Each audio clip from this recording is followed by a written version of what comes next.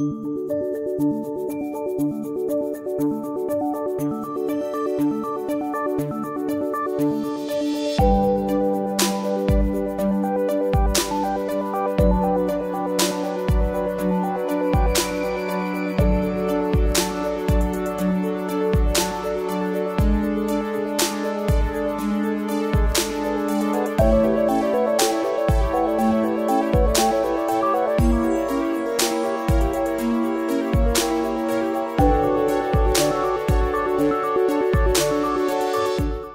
Psychosocial Wednesdays. Welcome to this evening. We're having a presentation by Marian Dunlea. It was my idea to bring Marian because um, I tend to be very, very much an intuitive type and a bit out of touch with the body. I'd seen various people give presentations on different aspects of body therapy, body analysis at the Jung Institute. But the remarkable thing about Marian for me was she could explain it so I understood it. That distinction that uh, we all know people uh, in different kinds of uh, kinds of work that we do that can do a thing extremely well, but then the ability to also sort of uh, convey it to others is a completely different skill. So it was delightful to have to do such an enchanting, sort of beautiful job of this. Um, Marian Dunlea is a Jungian analyst and a somatics practitioner, and she's been leading workshops integrating body and soul work.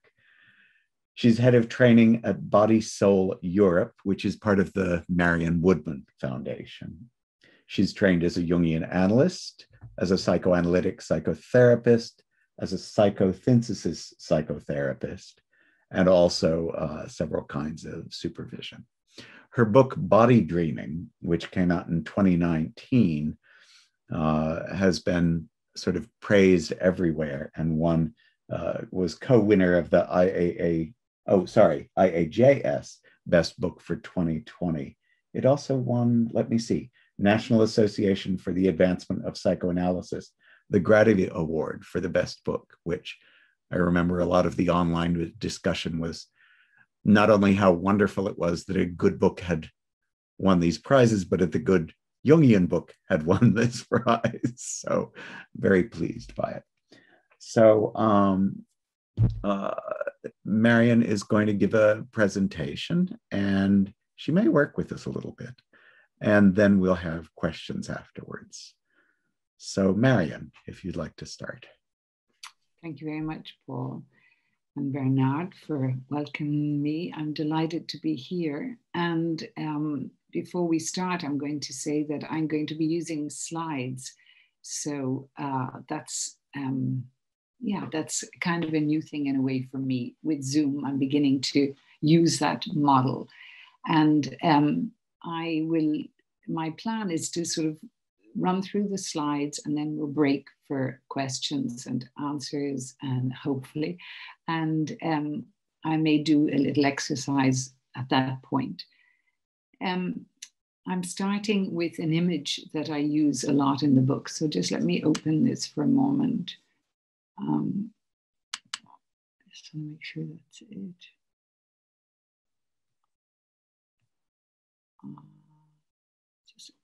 I beg your pardon, I've just gone into something here. Uh,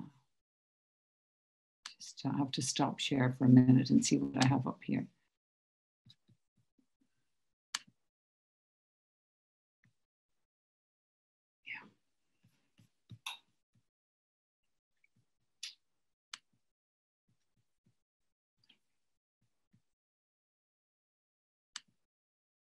Here we come.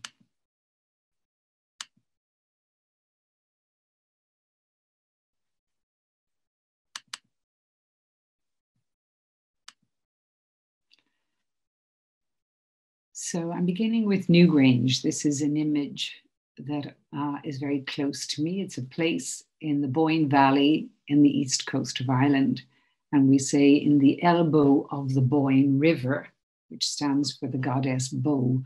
In the elbow of the Boyne River, there are more megalithic sites than anywhere uh, clustered together in Europe. And this particular one is well known. It's reconstructed there in the last 40 years. Um, and it's particularly well known because of its alignment with the winter solstice. That's the big thing about Newgrange. And for me, that's a very, very powerful metaphor, this metaphor of alignment. I feel particularly in the time of the pandemic where we are right now, we're feeling the lack of alignment. Um, the crisis that's happened, that's everywhere, whether it's a crisis of medicines or vaccines or travel or quarantine or separation, homelessness, unemployment, um, medical emergencies, whatever, there is a great sense of out of kilter. We are out of kilter and out of alignment. And I feel that um, the book is particularly in alignment with that in, in its attempt to call us towards alignment of psyche and soma, body and soul, matter and spirit. And here we have the matter of stone, as you can see, and its opening is towards the east. And on the rising sun of the 21st of December, the sun comes through the cairn. There's an aperture above the opening there that you can see. And this, um, this is the curbstone that forms the entrance point, beautifully carved with the spirals. And here you have the entrance with the sunrise coming right through the cairn and climbing up through the passageway like the woman's body and into the central cairn for about nine minutes at the center it holds. And the light comes in and penetrates, and inside there's another stone with beautiful spiral on it. And there are chambers that would again signify the female body with the ovarian um, tubes. And um, I'm very struck by this place, the magic of the stone itself, the ancient stone, the matter that's there in darkness for most of the year, 360 days, and for five days, a couple leading up and a couple just after the sunrise solstice, you have this darkness, and then the matter is lit up by the light, the light coming from the sun, from energy outside us. And somehow their wisdom in knowing about alignment and creating this architecture that brings something really very forcibly together. We could say in alchemy, it's like the great conjunctio of matter and spirit. And in a way, I my work is about matter and spirit. It's about finding ourselves connected, more connected to the body's wisdom and psyche and body working together to combine and dance together at this, what I call a still point, which isn't about a stillness, but about a dynamic um, interchange. Now, here we have that lovely spiral again, showing us the continuity of life, death, and rebirth. So, Jung's Marion Woodman, who's my great mentor and teacher. So, Marion always quoted Jung and his passion for the body. She brought us to read the Zarathustra seminars as part of our training. And here we have one of Jung's quotes that I felt captures what I'm moving towards tonight. The separation of psychology from the basic assumptions of biology is purely artificial because the human psyche lives in indissoluble union with the body. So that's our premise, really.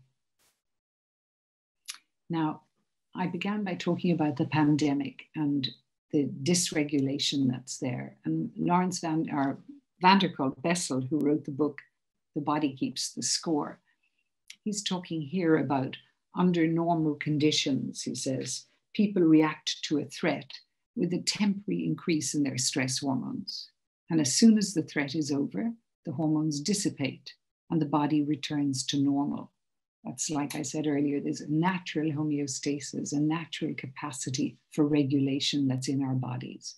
We are activated, we have a sympathetic nervous system that rises towards activity, engagement, and a parasympathetic, which is like the wave that comes back down on the beach again. It pulls out, it's a relaxation.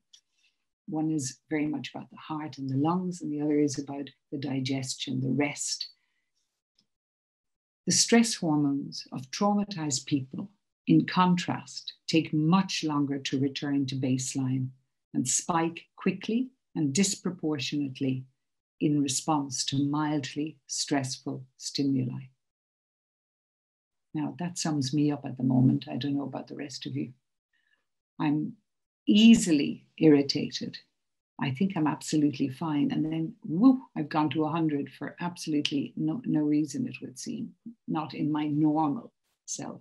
And I think we're all a little bit out of kilter. That's what I mean by that.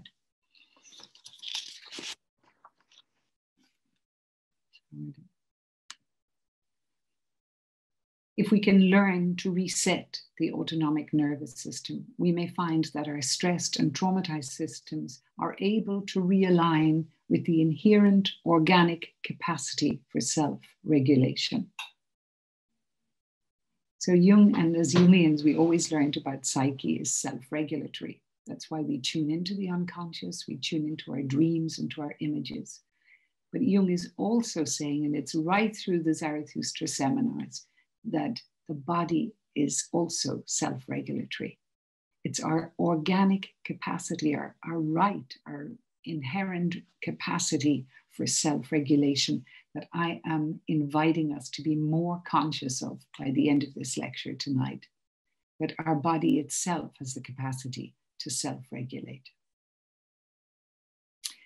Now, Stephen Porges, many of you will be familiar with, and his concept of the vagus nerve. He was the one who really spent a lot of time breaking it down and seeing and how it's connected to stress. So the vagus nerve, vagus means the wanderer. It's the largest, it covers the largest amount of territory in the body. It hits every single organ. And there are two branches. There's the dorsal vagus and there is the ventral vagus. And the dorsal vagus in the, our evolutionary cycle is the oldest branch. And that's a bit like you play dead, the possum. When there's danger, everything goes into immobilization. We have written here collapse or freeze in response to danger. So that is a system that's there in us all the time. It's not all the time operating because it's our least, it's the one that what we go to at the very end when everything else fails. We mostly go to when we're triggered or activated by something to the sympathetic system. This mobilizes the system into fight or flight. And that's our normal capacity for fight or flight. Everything is, the heart rate is up and the breath is ready for it and oxygen is serving ready for action. And we see this a lot in our responses again to the pandemic. Many people are running in terms of they're out there running or they're walking, but there's also a speed at which people are doing things.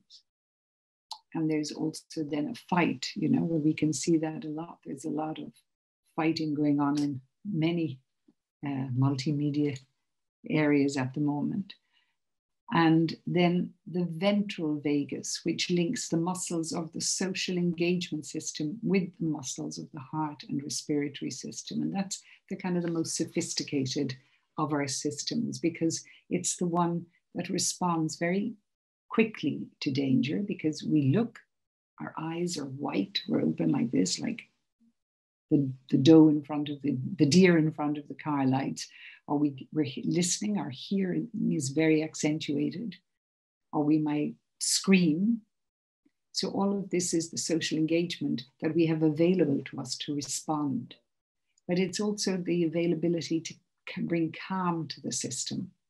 So, that system, we can look at somebody with eye contact and we can immediately convey something of calm to, their, to them. The same with a smile.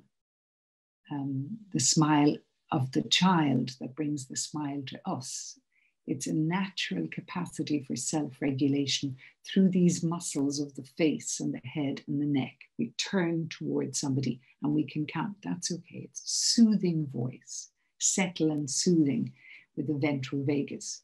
Un- unfortunately, if the dorsal is in operation, which is the shutdown or collapse, we've switched off from the ventral vagus. So you can just see off of these really blank faces which can happen to a lot of us from a day in Zoom where we really are chilled out, but in the frozen sense, not in the relaxed sense. So uh, I think Porges is really, really important in understanding stress and what's going on. And each of us has really got to become cognizant of which is our default position. And when we're working with people, it's really important to know what our own default position is, where I'm coming from, and how I respond to stress, because that's going to be in the field between myself and the client. But also, I've got to be really observant of the person's capacity for stress. How are they responding? And what's the default position?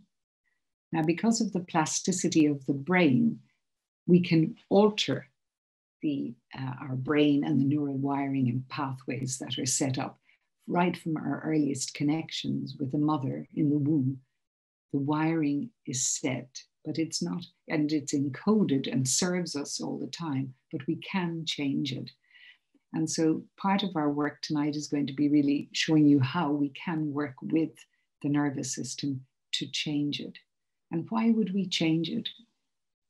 It's a very important question. Well, apart from just feeling a bit better or much, much better, it really expands our capacity for life. You know, in a lockdown, things can get narrower and smaller. But actually, if our nervous system is less uh, focused on survival, we have more energy. We have more energy for inquiry, for curiosity, for learning, for connection, for engagement and we have a greater capacity then to be more aligned at a deep psycho um, spiritual level. And that level, for me, connects me in consciousness to the planet, to everything around me. I can be more related to nature.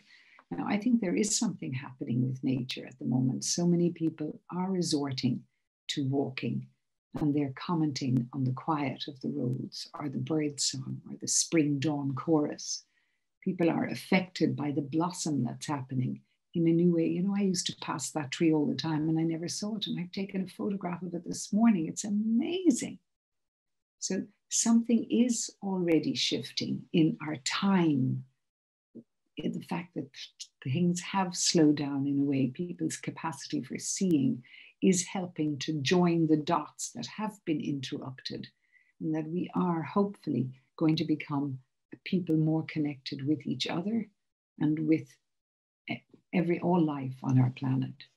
So I want to go to the, the next one here.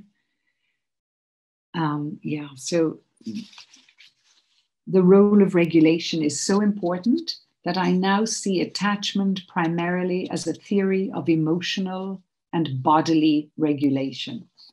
Now, this is a bit of a jump, but I did mention earlier that the encoding and wiring for the nervous systems is, begins in the womb. It's actually transgenerational, so it's conveyed through the mother's body in the womb, the environment that is offered to the child, the sense of safety that is there for the infant to grow and sure, when I read that, I was so excited because he seemed to be able to really show, because neuroscience was, you know, coming in when Schore came and he did all his uh, really wonderful synthesizing of neuroscience and psychoanalysis and developmental theory. And he's able to say there that attachment theory is primarily emotional and bodily regulation. So it's built into the nervous system in the course and as a result of the infant's experience with its mother. So, it, again, attachment is related to security and to safety. And here we have, we've just said the nervous system is always responding to what is safe. It's going to protect us with its defenses. If something is considered unsafe, then I'm going to make, I'm going to listen and make an alert and I'll try to calm myself. Oh no, it's okay. That was nothing. It was just a car going past. So I've calmed myself. Or else I get ready. Oh my God, there's a fire. I need to run, get out of here. Or there's the freeze where I see something and I can do absolutely nothing. I'm just gobsmacked, is what we say in Ireland. So all of these experiences have their beginnings in the womb with the mother. And I like to use this phrase that body dreaming is builds a learned, secure attachment to the body. So we always think about attachment in relation to the other. And in fact, I'm trying to really say that it's about an attachment to oneself through connection with one's own body, coming home to one's body. If the mother doesn't take part in the rules of the mutual regulation, so the mother is easing and oohing and calming the baby, or else is playing with the baby and enlivening the baby. But if she's not in tune, if there isn't an attunement, it's very disturbing to the infant. And it's as though the infant's experience is if I can't affect you, I don't exist.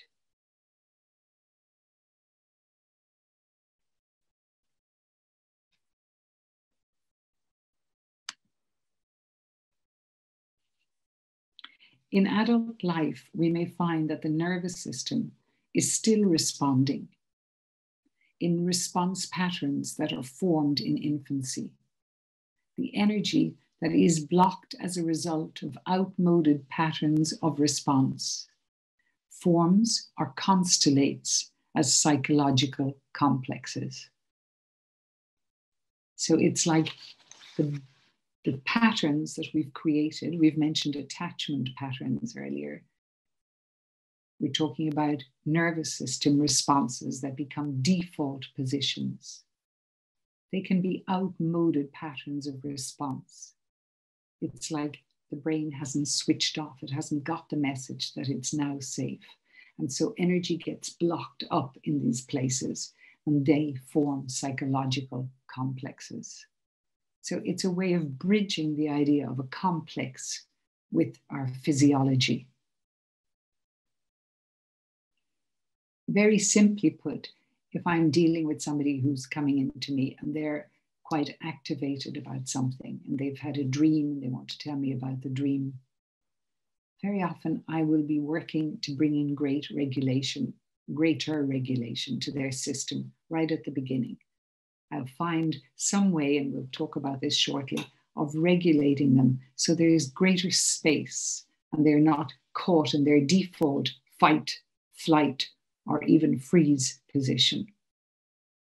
And in doing so, there's more space and availability then for the emotion that the dream image brings in. And they may not be quite taken by it in the same way as they were as they, when they presented it first. It's like there's more emotional space around it. They're less triggered and less activated. That's what we're talking about why it's important to bring in the biology here, the body, to support the dream image, to see what is the dream bringing? What's this new piece that the dream is bringing in? Why is it telling us this story now? And in order to feel into what's new or what the license of the dream may be, we listen to where the body is too one sided in a fight, flight, or freeze, where there's too much stress, and hopefully bring greater, what we now call coherence into the whole system. Now, I was very excited to come across Candace Pert's work. Um, for me, I didn't meet her until the 90s, but it's very, very powerful, really. And she got a Nobel Prize for her concept around emotions. She says emotions are what link mind and body Every second, a massive information exchange is occurring in the body. Neuropeptides and their receptors, these were her discoveries, they're the substrata of emotions, and they're in constant communication with the immune system. Again, very important when we're talking about our immune system in the middle of a pandemic, how to support it. So here we need, she says, these neuropeptides, which are carrying emotion throughout the body, they link the major systems of the body into one unit called the body mind. Now, I don't think there's a therapist amongst us, or even indeed an individual who hasn't heard somebody say, I'm either really anxious or depressed. Like there are very polar positions at the moment around our response to the pandemic. And I love that she brings its body mind. It's neither one or the other, but both. Now, how to work with this? Um, I was delighted to see reading Damasio that Spinoza is was already there, you know, in the 15th century. The power of affect is such that the only way we have to overcome a detrimental affect an irrational passion is by overcoming it with a stronger positive affect, one triggered by reason. You know, it's this is this is mindfulness in the 15th century. Reason induced emotion and not by pure reason alone. So all the talking in the world is not going to overcome the power of that affect. It's got to be met with an emotion as big and as strong. And I always remember from the physics class, the only thing I remember is equal and opposite. And here we have reason induced emotion. And we could ask ourselves, well, how do we bring in reason induced emotion? It's where we bring our attention, where we put our attention. Now, this is Fechner, and he was around before, he was one of Freud's lecturers. Freud loved to go to hear him speak. And um, there are great stories about Fechner. And one of the pieces that he was really, he focused on was the dynamic equilibrium. There, the, can you all see this? Am I, is the screen blocked or is it okay? Yes. So it's okay. Yeah, good. So for Fechner, pleasure comes with the re-establishment of a dynamic equilibrium. So when things are out of kilter, there is pleasure in an organic pleasure in having a dynamic equilibrium. There is joy to be had in knowing how to find balance. And this is really important because it's satisfying when the body is satisfied and the psyche and body are satisfied, it brings more equilibrium and a dynamic equilibrium. And it's the pleasure principle. Now, Freud took it in a different direction, and we're not going to go there this evening. But Freud was very taken by Fechner's work on pleasure. And it's, he's pointing out that it's part of our, our nature, our human nature, to seek pleasure, to bring in greater dynamic equilibrium to our whole system.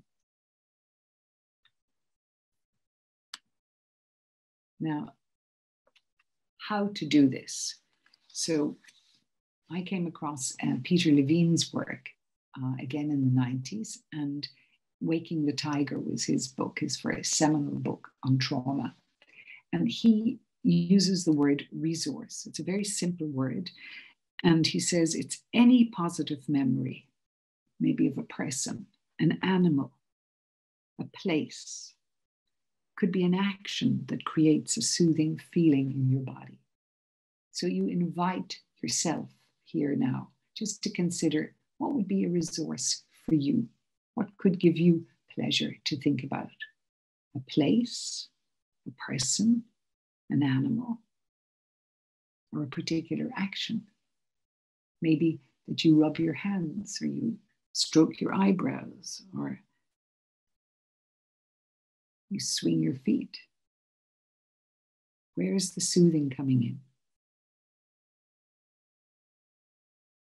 And as you think about it, amplify it a little bit. Just see yourself there or with that person or in that experience. And then the next piece is to bring your attention to the physical response, the resonance that your body is having with that experience. So, as you think about that place, how does it make you feel?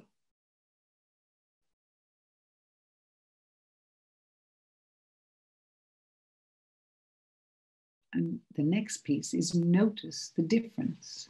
This was also Fechner, just noticeable difference, he would say.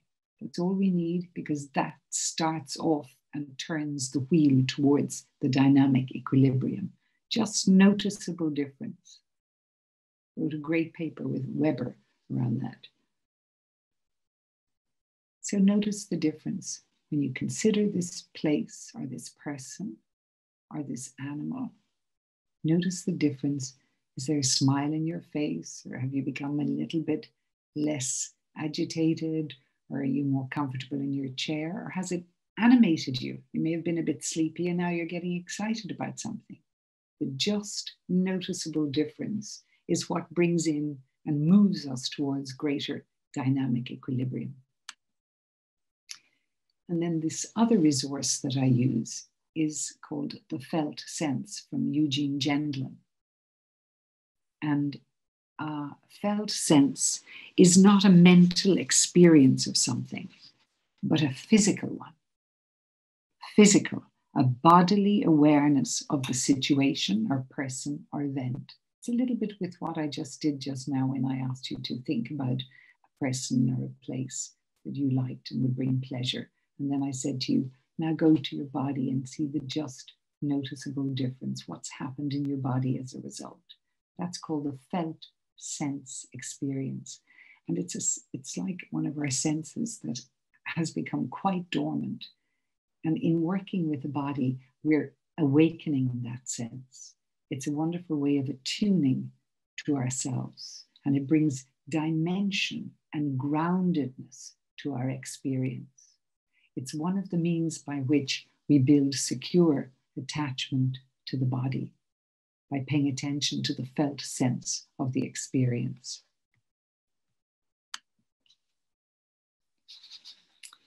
And then we have the experience of orienting.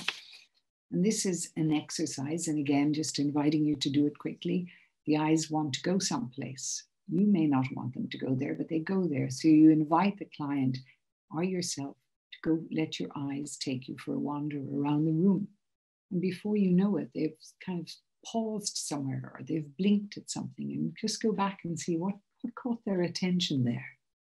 And spend a little bit of time being curious about what it is that's drawn your attention to that. And in itself, then you pay attention to the felt sense of the experience and the just noticeable difference. And in working in that particular way, something is happening. One can no longer be consumed with anxiety and trauma because all your attention is taken there. And it's a right hemisphere exploration. And the right hemisphere is always open to the new. It's available for curiosity and exploration. It's also a, a, available for amplification. And so that kind of a conversation about something that the eyes are drawn to is, has potential to be endless. You need never worry with your client that you're going to run out of things to say because you're in the right hemisphere and it can go on and on and on. It's the field of amplification. Us Jungians love that. So, one of the texts that boasts so much about the body from Jung is his Seminars on Zarathustra, where he says Zarathustra says to go to the body, go into the body, and then everything will be right. For there, the greatest intelligence is hidden.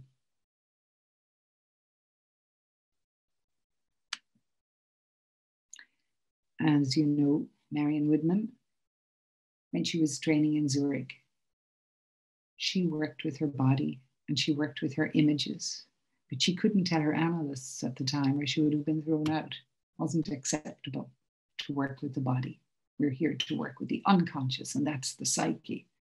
But Marion went home and spent two hours or three hours in the afternoon with the tape recorder, and she would tape the just noticeable differences, what was going through her mind, what were the thoughts, what were the emotions.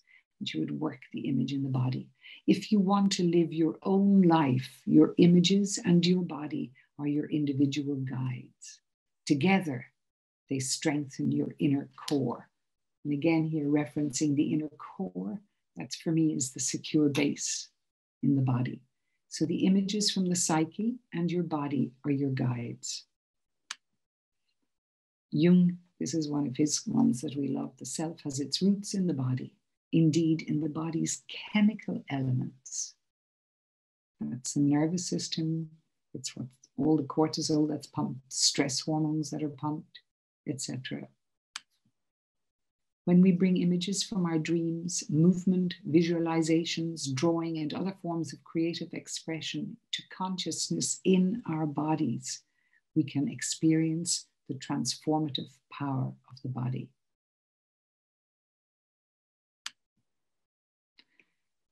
The purpose is to live in the cells of the body. Now, this is really beautiful for Marion because central to her work is Eros. It's not about power or body over mind or mind over body. It's Eros. The purpose is to live in the cells of the body so that we can hear what the cells are saying. There is a wisdom in the body, but if we don't bring that wisdom to consciousness, it cannot be transformative. So we listen in the way the mother and the infant work. The mother listens to the, the infant and the infant responds. The body needs to know we're responding to it, we're hearing it, we're absolutely paying attention. Just as the dream world needs to know we're receiving the dream, the body needs to know we're present and there for it. That's about consciousness. And that's where the transformation happens, bringing consciousness to it. Once we're in connection with the love coming through our own cells, then we can feel the suffering in the cells of the trees, in other people, in the planet.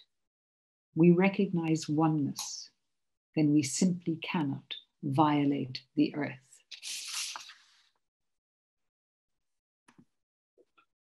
That's that importance nowadays, I feel, of oneness.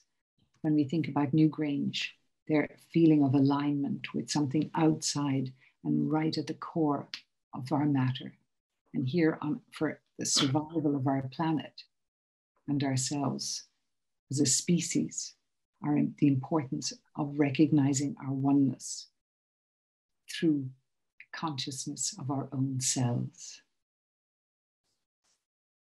Thank you very much.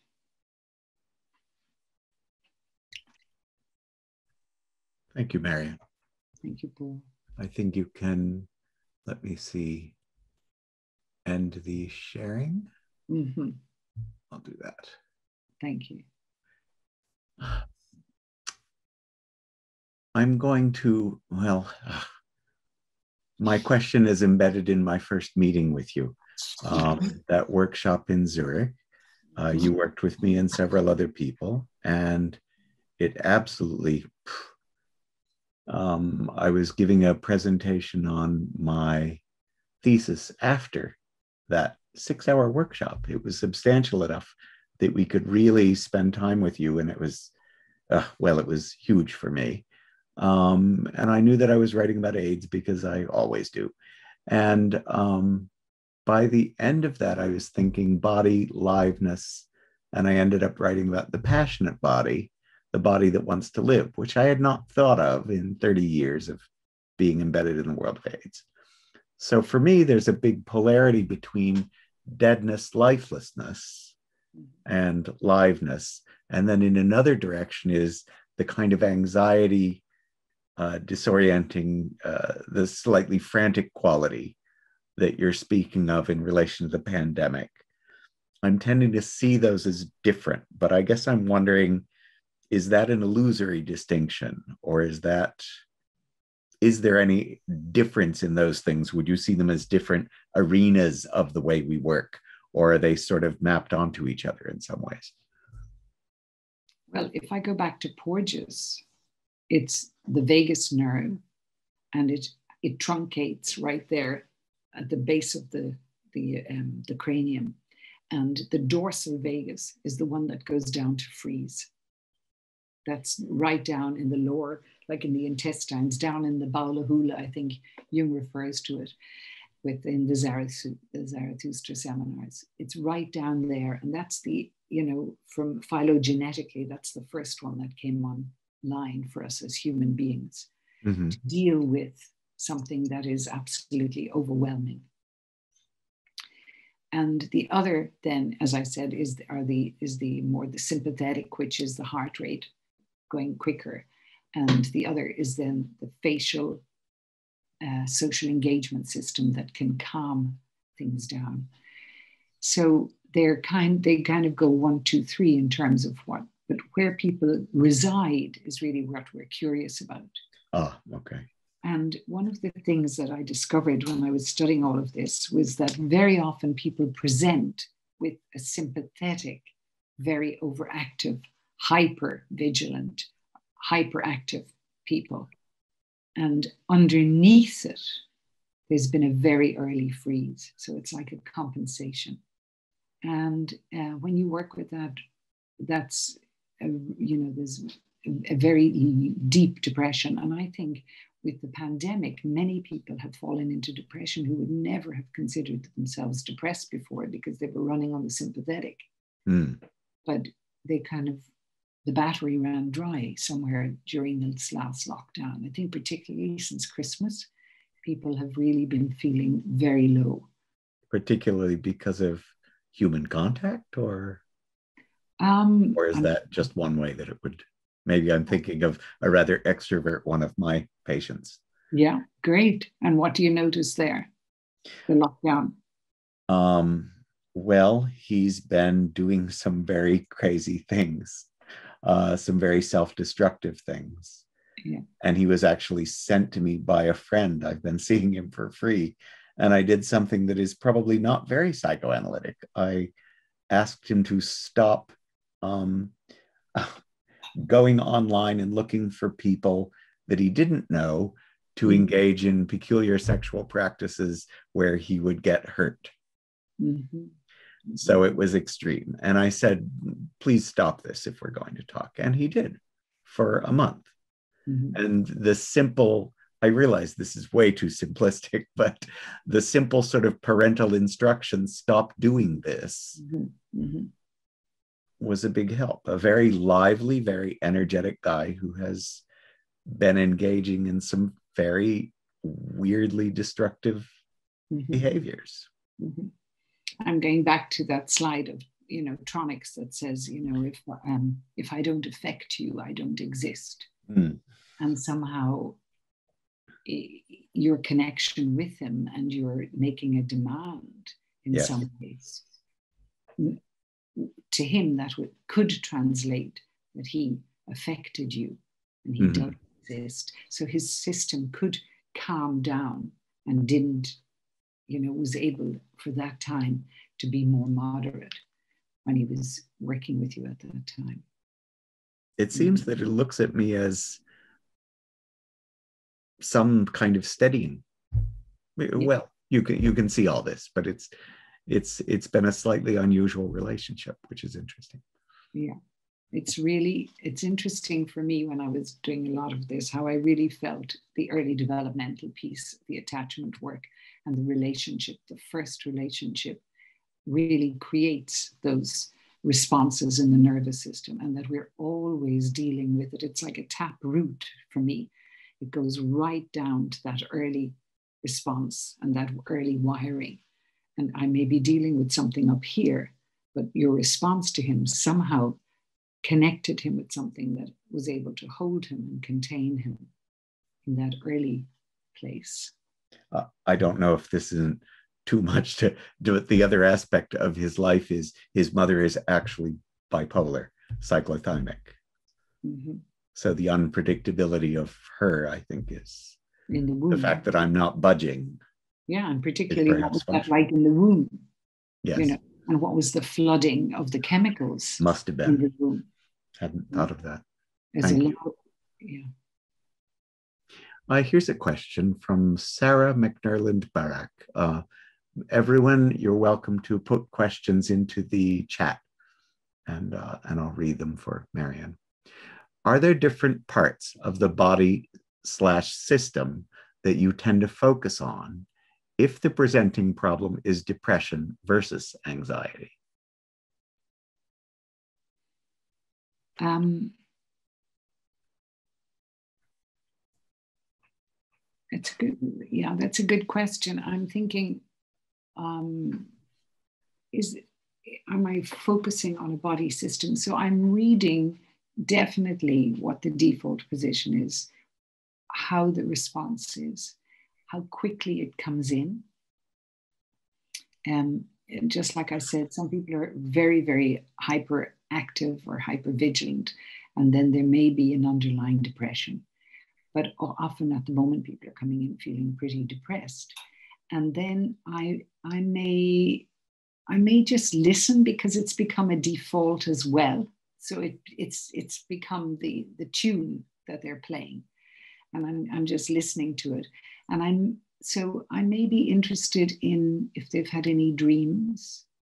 So, for instance, I met somebody recently on Zoom, and uh, somebody I've worked with for a very long time. have had a huge long break of years and years, and we're back working again. And this person said, oh "My God, I have been so depressed." And then she said, you know, I'm grateful for the depression this time and for the pandemic because I've had time to go into it. And when we started to work with the dreams, they were just so, so powerful. We were back into some very negative archetypal um, figures. But at the same time, she now had so much more capacity and presence to be with them, just like she was more present to her depression. She could also be more present to what this archetypal energy was. And over the course of a very short few weeks, things changed radically for her.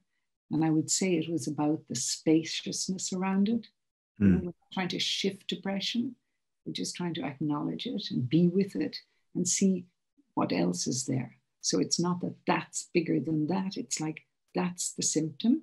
Okay. And we're waiting now for the body and the psyche to self regulate because it will self regulate if you give it the space. That's what happens. Mm. Either through the dreams or in the physiology while we're working, there might be an impulse or a movement that wants to come, or a gesture that I notice is being repeated that I may just bring attention to and see what's in that gesture. You're laughing, Sarah. No. Oh, Sarah, maybe. Yeah. yes, she is. Want to say something? I can unmute people if you'd like. Um, we we don't always, but I know that uh, Marian was also willing to uh, to mm-hmm. directly communicate with some people. So tell me if you'd like me to. Um, Karen Chan, a related question: How has working with the bodies of your clients over Zoom been for you? Can you please discuss possible strategies to overcome the challenges? Mm-hmm. There's a hard one. Well, I was working with Zoom for a very long time because um, I went to Zurich to write my book and I had my clients on Zoom all through that time. And that's really a very long time ago now, at least I'd say, yeah, 2011, I think I went. So um, I felt, I feel that if I didn't have the body work, I would be completely dissociated, I would say at this point. But the fact that I always take my base note as what's happening in the system of the person in front of me. You know, what's the system? What is the body psyche happening, doing? How are these images relating in the body? How is the body presenting today?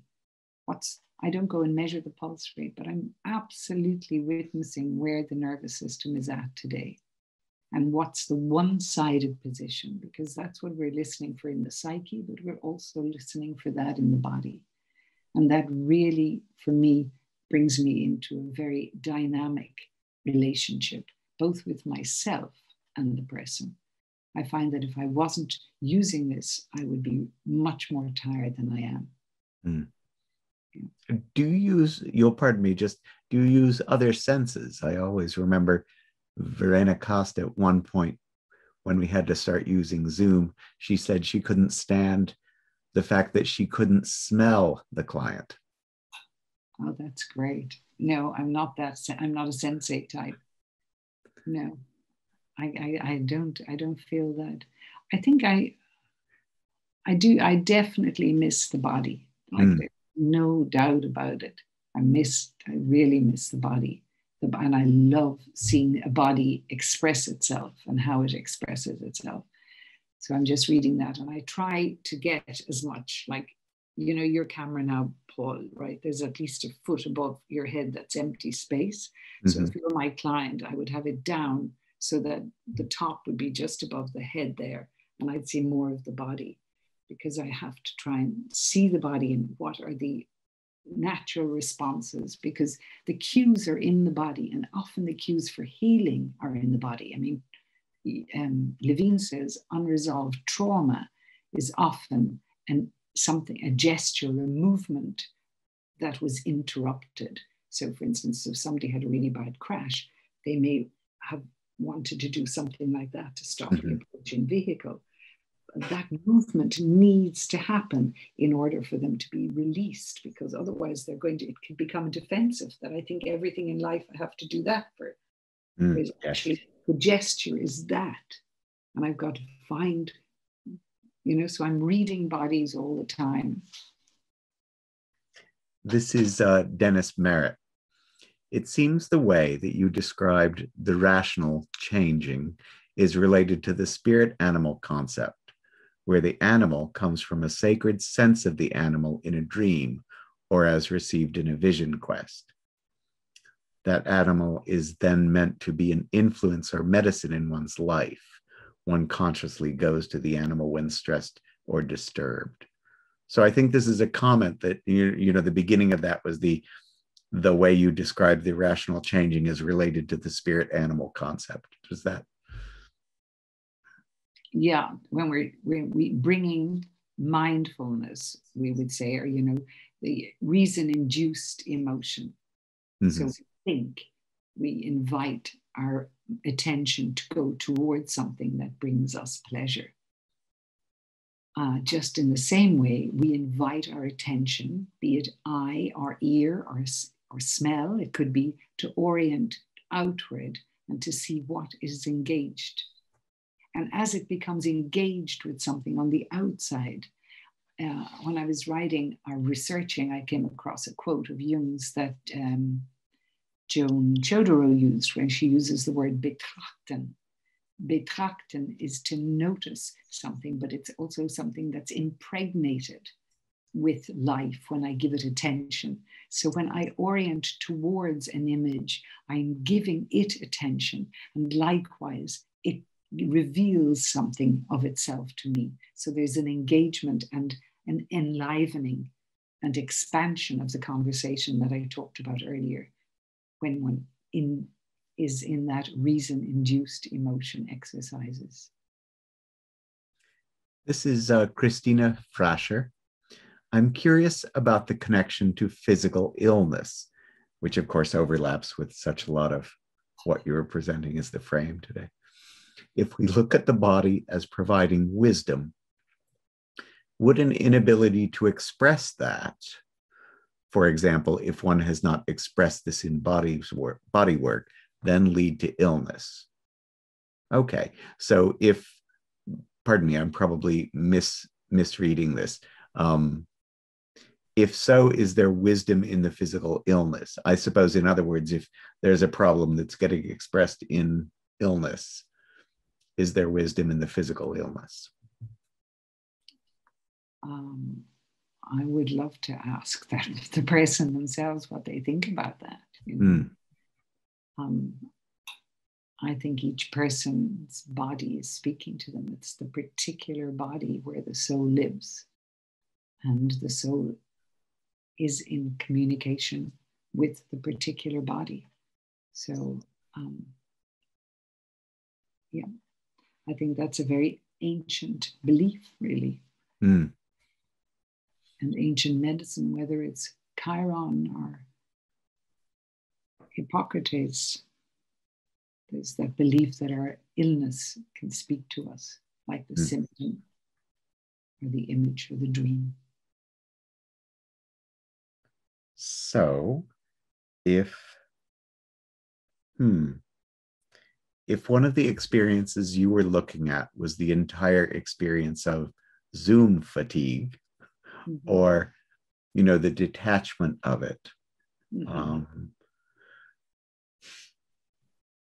hmm, well, how would that change the frame of everything we're doing? I suppose you've already spoken to that. But is there a way that, uh, as opposed to merely the hope of ending the particular portion of history that we're in, is there a way we can be with this that would be more helpful for ourselves? That's a fairly incoherent way of asking. I hope it's clear. Um, well, I hope that I've been able to. I mean, it's a very short time, just 30 minutes. And as you said, I haven't had time to work with people individually. But um, really, presence to the body is vital, vital. And um, matter and psyche, two aspects of one and the same thing. And when we really pay attention to the body, and I just mean listening to the nervous system and helping the nervous system to settle, then you have so you've an immediate expansion. How many people here, when I asked you to think of something pleasurable, felt your shoulders drop or your breath just deepen a little bit, or even notice that you took a breath at that point? We be just we have more space and more fluidity. We're less rigid less one-sided. We're more capable of meeting so many situations by being present to a, to a system that's more regulated.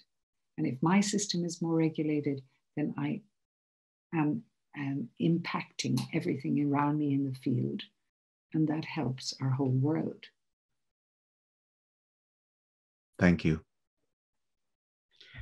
Um, lovely work, Marian. Thank you so much for your book. Thank you so much for presenting here. Um, I do want to tell everyone it's not really a reminder as we haven't announced it yet. In two weeks, we will have another book launch. This will be for The Plural Turn, which is a book uh, edited by our own Stefano Carpani. He's making another presentation tonight, so he can't be here. And it is on the work of Andrew Samuels. So we will advertise that and arrange that within a couple of days. I need to get onto that because it's soon. And then in a month, we'll have Renos Papadopoulos as a guest. So thank you all so much for coming. Is there anything else you'd like to say, Marian, or? Thank you. It's a great honor to be here with you and among such guests. And uh, thanks to everybody for your attention. Thank Thanks. you so much for your work. Thank, Thank you, you, everyone. Uh, take care, and we'll see you in a couple of weeks. Thank you, Marian. Thank you. Bye.